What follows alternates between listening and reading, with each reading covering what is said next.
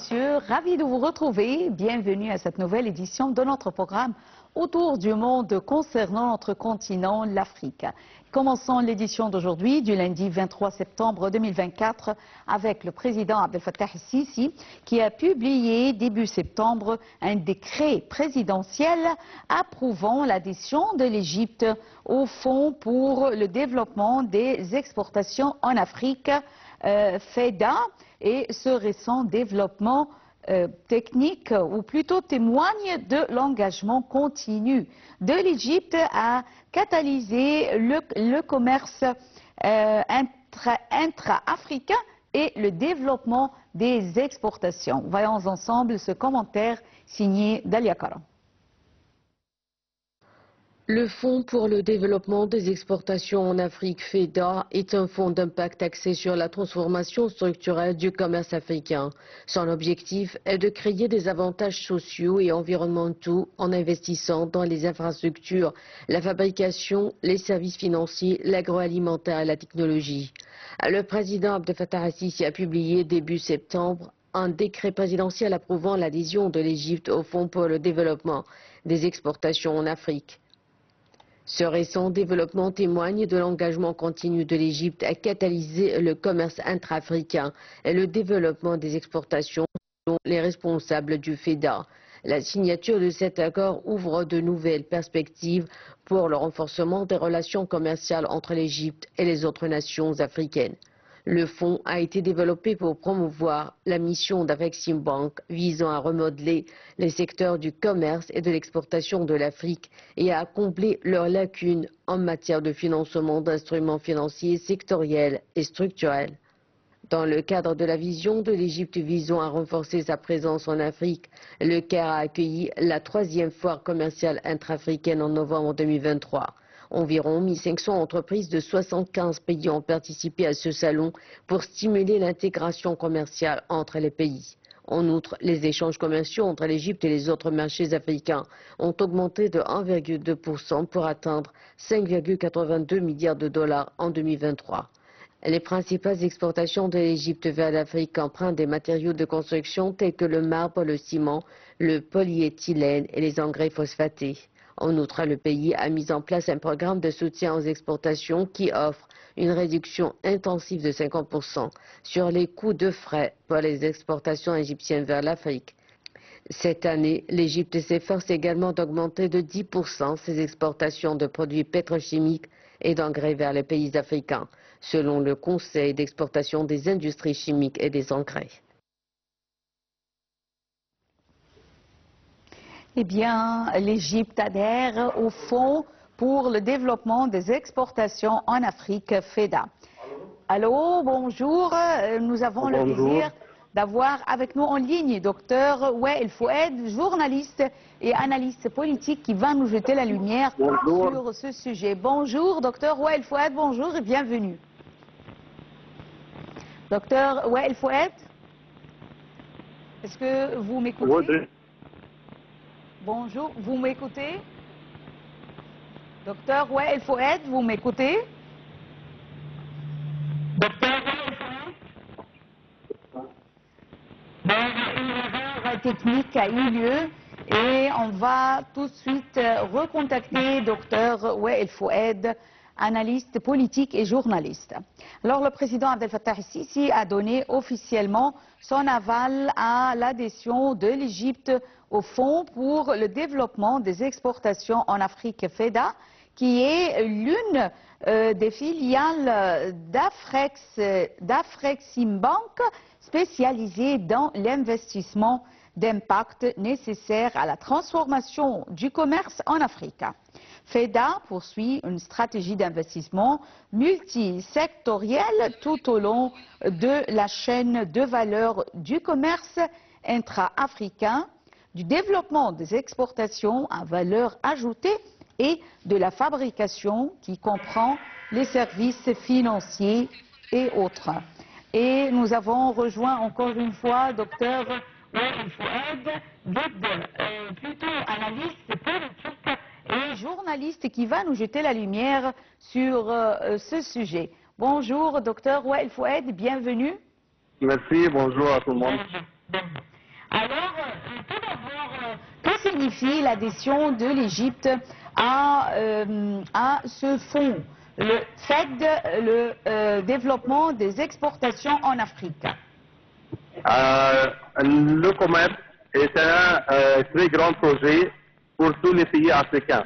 Hmm. C'est-à-dire, c'est un projet de long terme pour fortifier les relations africaines hmm. et euh, constituer ensemble un point fort, un pôle important dans l'économie internationale.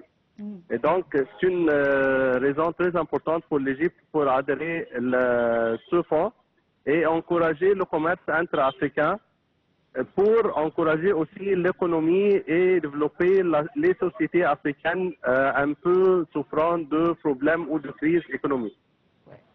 Docteur Fouad, est-ce que vous voyez qu'avec cette adhésion, euh, l'Égypte, le poids de l'Égypte euh, en Afrique, notamment dans le domaine du commerce, va-t-il peser davantage, sera plus lourd? L'Égypte a son propre poids sur le plan économique en Afrique, mhm. mais aussi plusieurs pays africains souffrent à cause des problèmes, euh, euh, des ingérences, des problèmes de euh, guerre civile, mhm. de troubles et de crises économiques. Et on peut, il y a la, monnaie de certains pays africains mhm. devient trop faible et ces pays ont besoin de l'Égypte. Euh, l'économie va avec la politique, va de pair avec la politique. Donc, on ne peut pas signer un accord euh, ou bien une convention euh, concernant le commerce sans parler des buts partagés par les, les, pays qui ont signé cette convention. Les pays, les buts politiques constituent l'autre main guidant ou bien soulevant le poids des autres pays. Euh, donc, on parle économique et politique ensemble et l'Égypte reprend sa position économique et politique dans, en Afrique, euh, revenant au temps de euh, Nasser, au temps de Sadat. Euh, certainement, certaines années avant l'attentat de la de la vie de, du président Moubarak, en ce moment-là, euh, les relations ont été euh, passées par des moments de rupture. Et aujourd'hui l'Égypte reprend, revient, donne un coup de main à tous les pays africains. Et constitue un, point de refuge pour ces pays. Docteur Wael Foued, quel est le rôle joué par ce fonds dans euh, la promotion des euh, petits et moyens projets. Comment voyez-vous euh, le rôle de ce fonds, notamment pour les petites et moyennes entreprises? Oui, les, petits et les, moyens, les petites et les moyennes entreprises sont les bases de l'économie forte. Ce fonds s'adresse à une très grande, un très grand nombre de personnes, d'entrepreneurs, capable de promouvoir l'économie euh, égyptienne, et l'économie des autres pays africains. Donc, c'est un travail aussi de long terme, d'un travail avec un très grand public, un travail qui euh, aidera à euh, renouveler l'économie égyptienne d'un côté et l'économie des autres pays africains, parce qu'avec les petits projets, les petits entrepreneurs, on pourrait avoir une très grande richesse en regroupant ces travaux ensemble, ces projets. Et euh, c'est pour cette raison euh, qu'on pourrait lutter contre euh, la, pénurie des, chances de travail. On, va créer nos propres projets, donc on va donner l'occasion à plusieurs personnes de travailler et euh, recommencer leur propre vie, se marier, donner naissance à des enfants, donc promouvoir la population. Euh, tout cela, c'est, ce sont des buts différents, implicites ou bien connus par les entrepreneurs et par l'État pour aussi remédier au problème de l'obligation de l'État de faire travailler les personnes euh, dans les établissements euh, gouvernementaux Euh, en Égypte, on, a, euh, on, on s'est arrêté à euh, donner d'autres chances de travail. On, va, on doit limiter le nombre des employeurs dans les euh, établissements gouvernementaux pour faciliter euh, le processus euh, des différents services. Et c'est l'impact de la technologie. Mais euh, également, euh, permettez-moi que, euh, de dire cela qu'avec les nouveaux projets qui ont eu lieu récemment en Égypte, euh, comme les projets nationaux, les projets d'infrastructure et autres, euh, nous avons vu également que le taux de chômage a bien diminué en Égypte pendant les dernières années. Exactement, c'est un, point important à soulever parce que ce n'est pas tous les pays, la majorité des pays africains n'ont pas cette possibilité d'établir ou bien de commencer, de lancer des projets euh, nationaux d'infrastructure et euh, pour diverses raisons concernant leur propre économie ou bien leur propre situation politique et économique. Docteur Wael Foued, journaliste et analyste politique, je tiens à vous remercier infiniment pour ces explications concernant ce fonds.